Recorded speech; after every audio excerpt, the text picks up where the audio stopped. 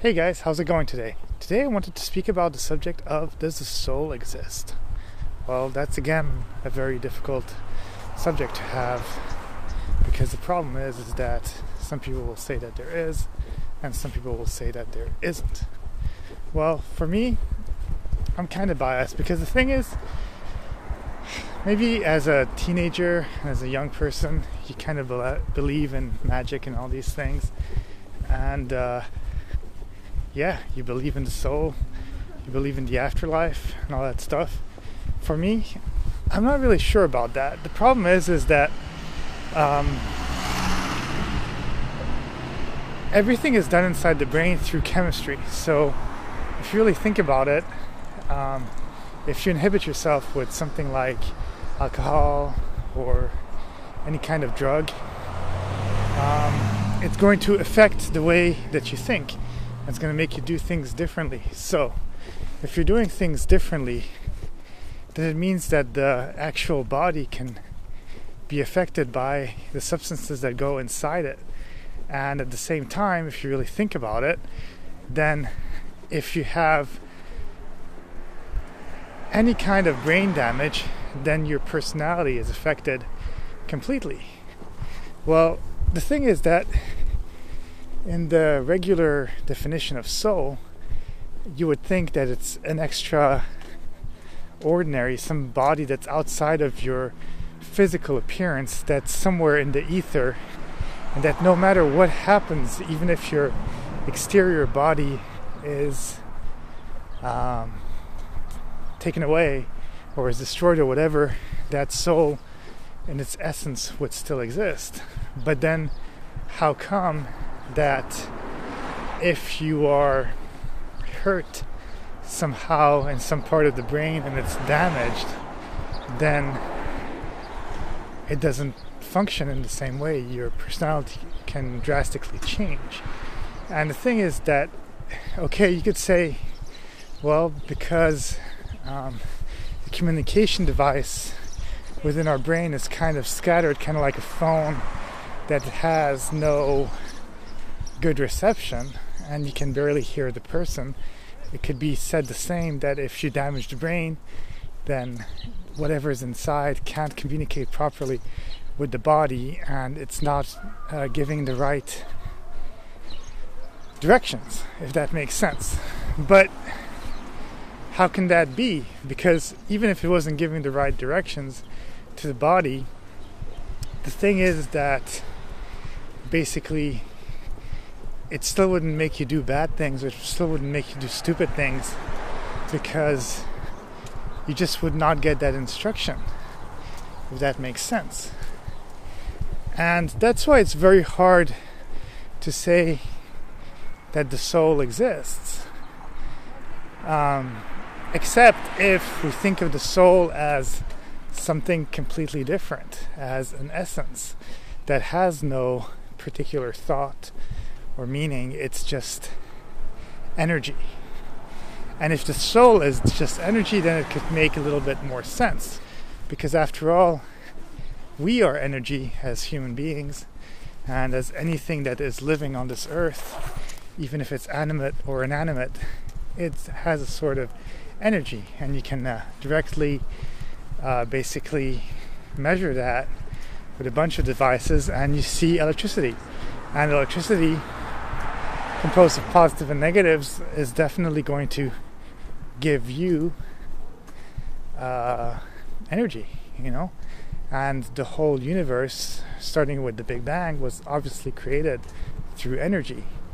So, if you think of the soul as not something that has a personality and as just energy, then that makes sense. But then at the same time, what is happening is that even inanimate objects also have energy. So, what happens is that it means basically that everything has a soul. Every single cell, every single object, every single particle in this universe basically has a soul, which is basically energy, if that makes sense. So, yes, if you think about it that way, it actually is very possible that souls exist. But then soul basically is another word for energy source for life, if that makes sense. So, how do we create that energy? I'm not really sure. I think what's happening is that you can easily create the energy uh, starting with the Big Bang because the energy created by that was super big, but then also what created that energy before that because technically it can't just explode without energy. So something must have also created that. And at the same time, when you think about that, then that means that if there's matter, there's antimatter because for each positive, there's always a negative. For male, there's female. For plus, there's minus. For multiplication, there's division, etc., etc., etc. You know, ice, hot. So everything, even our eyes, we have two eyes, we have two arms. There's always a sort of backup, a sort of yin and yang to everything. So the thing that's funny is that we are not really sure what's beyond the universe, but at the same time, what you think about is that for every positive, again, there's a negative. So, definitely, once we get past our universe that is still expanding, supposedly up to infinity, then there's also what's beyond that, which is actually the antimatter. And it's, of course, a distance that's so huge that we wouldn't even be able to get to it. But in uh, places like CERN, uh, in Sweden, um, they're able to uh, create antimatter in very small forms. And that's again translates to energy. So the soul can exist or cannot exist, but it's really reliant and dependent on what you believe the definition of soul is. If you think soul is something that is basically your personality that's going to be kept even after death. I don't believe in that. You can believe in that if you want, but scientifically, if you really look at it, it's energy.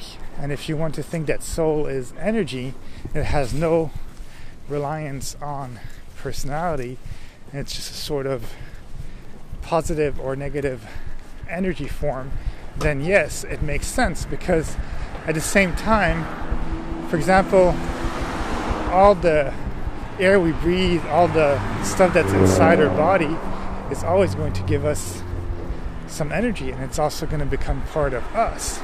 So, what happens at death basically is that you would um, basically get eaten by all these different uh, things in the earth, and then you become energy and it gets recycled in other forms of life, be it trees, be it nutrients for the earth, be it uh, the ants, the mollusks, the worms.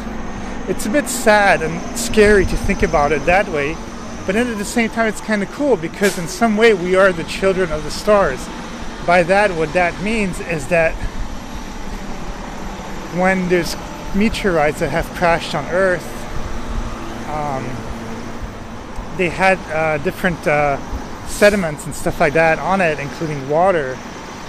Um, and once that was able to combine itself with Earth and the appearance of really good weather within it, then we were able to actually how can I say, we were able to create an energy that had a consciousness. And even our consciousness, in some way, is basically uh, trial and error and luck. So, yeah, we're able to be conscious about this world because I think a lot of things are not. But they're also conscious in their own way, if that makes sense. But, I mean, either way, that's my definition of soul you can take it for what it is. Everybody has different beliefs, but that's what I believe. So, have a great day, and I'll talk to you guys very, very soon.